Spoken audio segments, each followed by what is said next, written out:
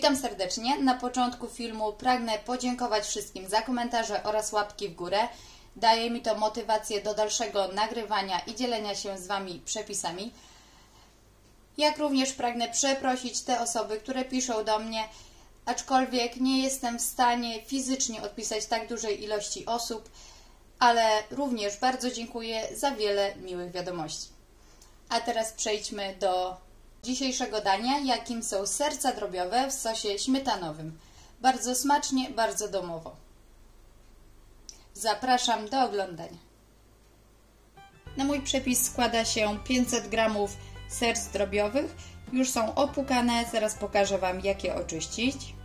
Jak również użyję jedną kostkę rosołową, średnią marchewkę, cebulę, olej rzepakowy, sól, śmietanę gęstą 18%, koperek, mam tutaj mrożony, może być świeży i przyprawy. Paprykę ostrą, możesz użyć słodkiej, y, pieprz czosnkowy i tu już od Ciebie zależy, czy chcesz użyć po prostu pieprzu i suszonego czosnku oddzielnie.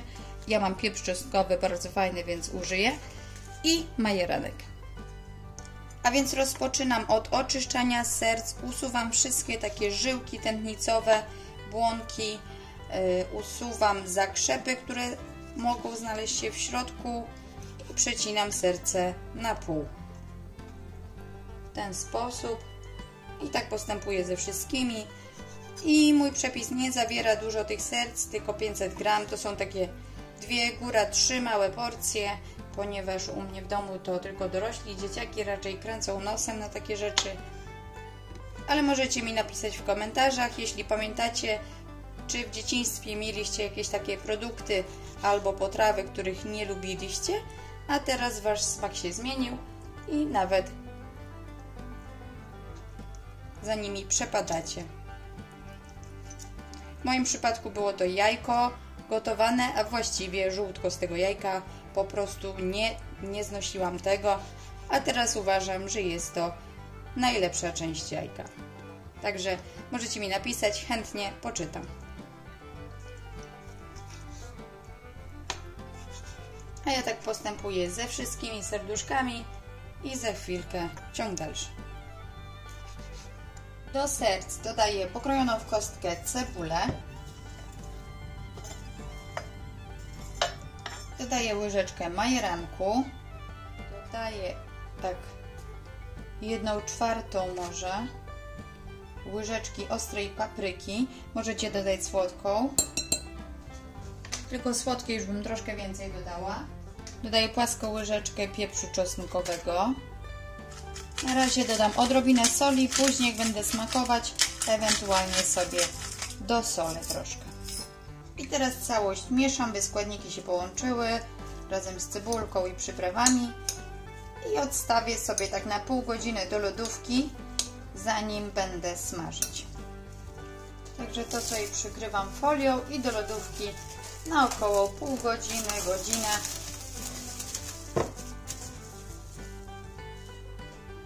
Na patelnię wleję odrobinkę oleju, też nie dużo, bo serca mają swój tłuszczyk, tak żeby nam się nie przypaliło. O tak, o, olej rzepakowy używam.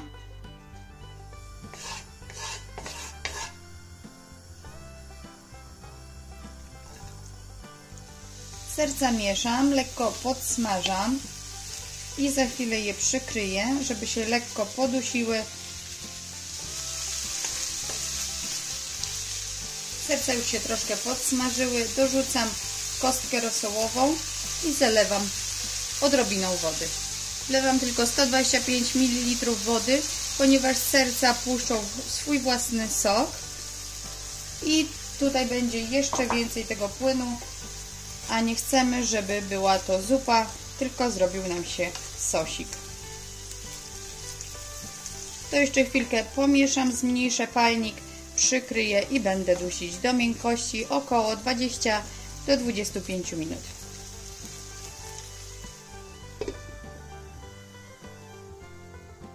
Cóż moi drodzy, minęło 10 minut, w sumie 15. Teraz dodam sobie marcheweczkę, którą starłam na tarce o grubych oczkach. Tu sobie wszystko wymieszam I ta marcheweczka się chwilkę podusi razem z sercami. I duszę to kolejne 10 minut. Jeszcze tak szybciutko. Byłam jeszcze na ogródku i przyniosłam sobie kilka listków lubczyku, więc też go tu dodam. Jak chcesz, to też możesz dodać lubczyk świeży, możesz dodać troszeczkę suszonego.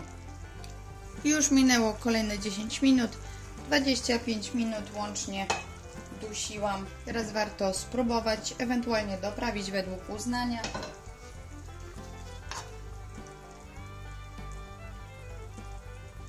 Może odrobinka soli, ale jest bardzo dobra już. Odrobina soli.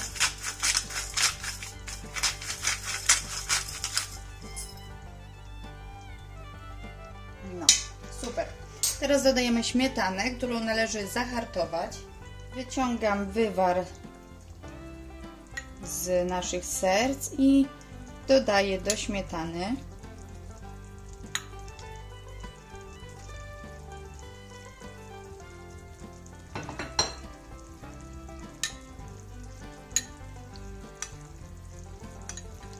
Tutaj mam 150 gramów śmietany, co daje jakieś 5 łyżek. Tutaj sobie dobrze wymieszam i dodam do serca. Zahartowaną śmietanę wlewam do sosu i w tym samym czasie dodaję koperek, około 2 łyżki.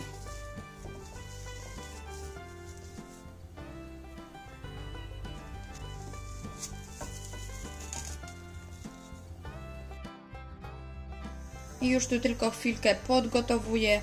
Pozwolę się temu lekko zagęścić i możemy podawać.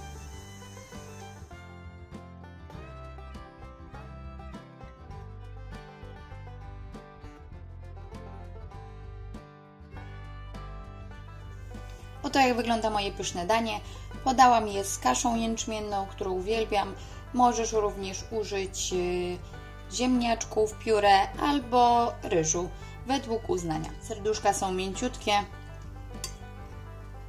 idealnie doprawione.